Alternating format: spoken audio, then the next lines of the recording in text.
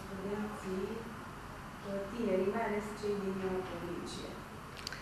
În acest an universitar, de fapt în viitorul an universitar, ne pregătim cu ofertă educațională variată, spunem noi, pe patru domenii de studii, respectiv științe economice, științe administrative, sociologie și limbi moderne aplicate. Avem uh, prin cele 11 facultăți uh, care oferă programe de licență, avem 24 de programe oferite anul acesta, din care 10 în limbi străine. Sunt de asemenea programe de învățământ la zi, cu învățământ cu frecvență, respectiv și programe de studii cu învățământ la distanță sau cu frecvență redusă. Este pachet, tot pachetul în oferta Academiei, o licență, masterat și de ce nu doctorat. doctorat. Desigur, avem de, tot ciclul de studii universitare, de la licență până la doctorat. Uh, pentru uh, programele de masterat avem o ofertă mult mai largă, care atrage atât absolvenții ai uh, instituției noastre, cât și absolvenții ai altor universități. Sunt uh, pentru masterat oferite 86 de programe, de asemenea în limba română sau în limba engleză.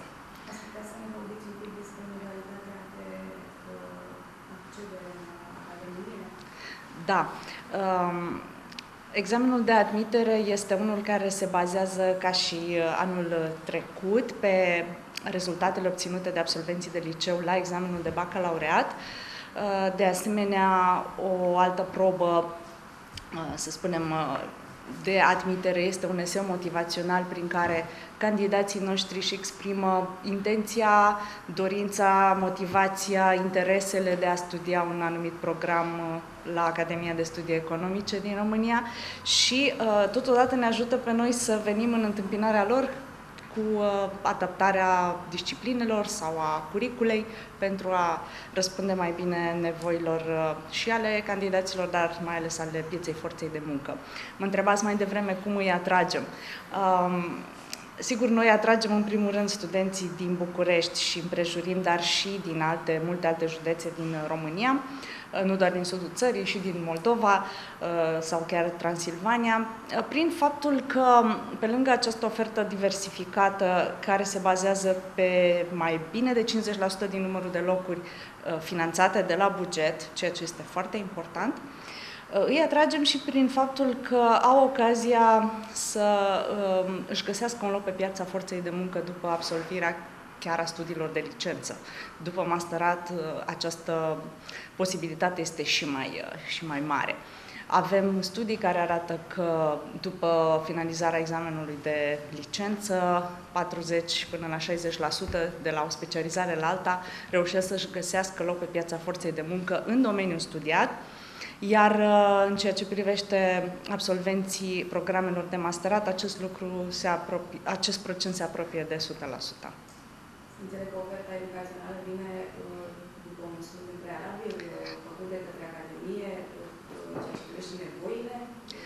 Da, da, da. Noi facem anual aceste anchete, să le spunem, cu privire la angajabilitatea absolvenților noștri, pe de o parte. Pe de altă parte avem un consiliu consultativ format din reprezentanții mediului de afaceri, reprezentanții principalilor angajatori ai absolvenților noștri, ceea ce ne ajută să avem tot timpul o orientare către nevoile pieței. Sigur că nu pot schimba tot timpul planurile de învățământ și oferta de programe de studii, dar este probabil singura cale de a încerca să răspunzi uh, nevoilor.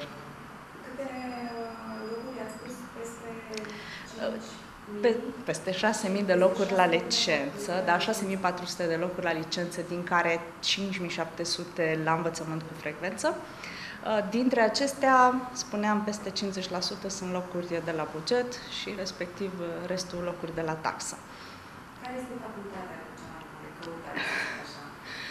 este greu de spus. Uh, există o eu știu, un interes deosebit al candidaților în ultima vreme pentru studii în limbi străine.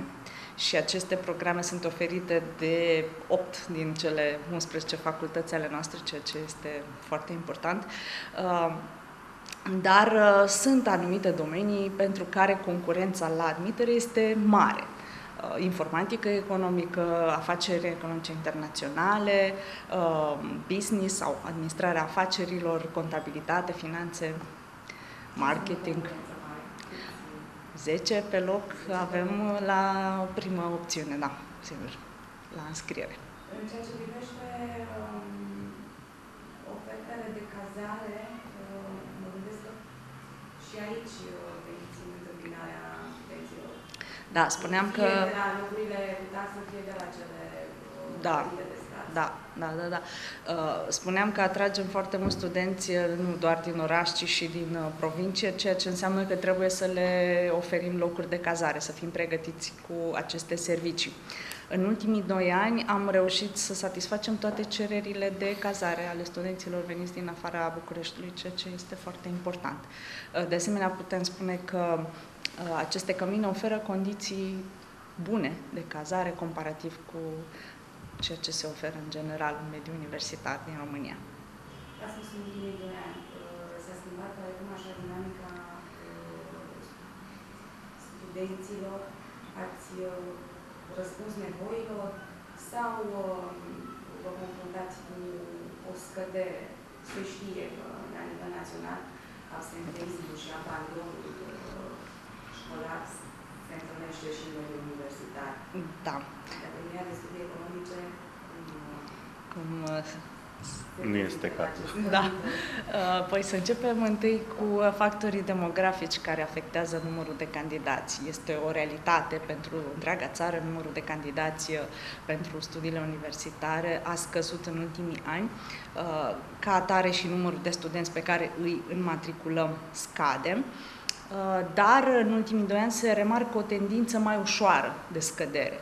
Uh, Noi am avut, să spunem, acum uh, 5 ani 27.000 de studenți. Acum avem 21.000 de studenți. Uh, Scăderea a fost bruscă la un moment dat, dar apoi s-a mai uh, redresat.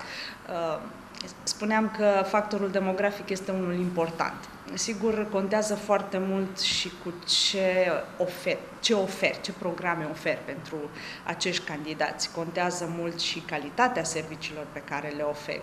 Uh, Contează uh, ponderea locurilor la buget sau numărul locurilor la buget contează foarte mult pentru candidați. Asta am remarcat din uh, anii precedenți.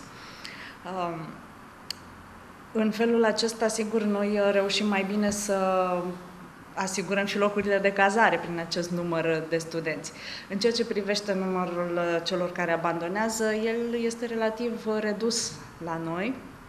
Uh, Am avut un an în care, după primul semestru anului întâi, au uh, renunțat, uh, să spunem, un procent mai important, așa, care a ieșit din tendințe. Uh, Sigur, este un uh, moment greu de trecere de la liceu la universitate. Nu este atât de ușor. Se adaptează un pic mai greu, unii se sperie și uh, nu este întotdeauna foarte ușor, dar uh, știți cum se spune, dacă treci de prima sesiune, ai șanse să ajungi și la final. Uh, Ceea ce privește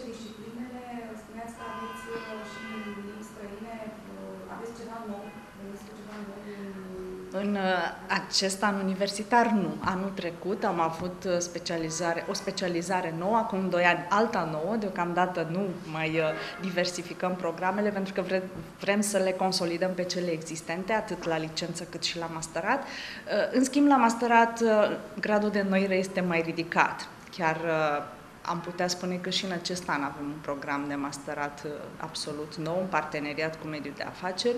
Acolo putem discuta, uh, să spunem, altfel, pe alte criterii, pe alți factori care influențează această diversificare a ofertei educaționale.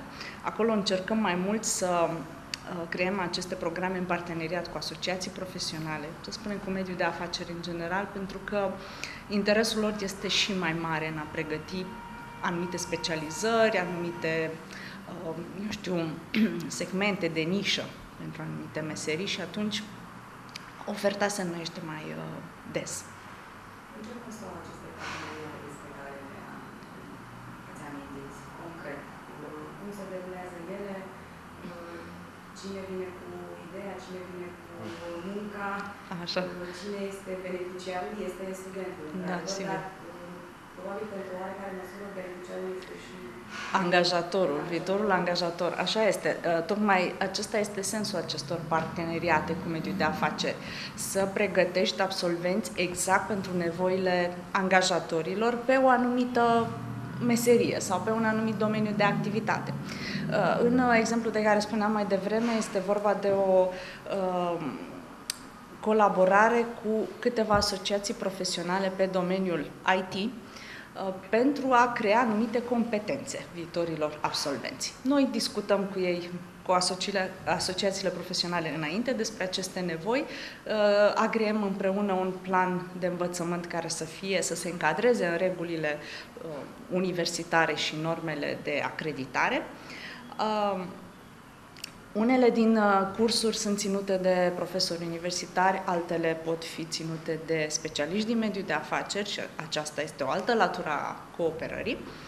Uh, de asemenea, se asigură pe, pro, pe durata programului de studii internship-uri în uh, firmele care sunt interesate în acest parteneriat și care uh, au solicitat, spunem, un asemenea program de studii. Astfel încât la finalizarea programului studenții sunt pregătiți exact pentru nevoile angajatorului.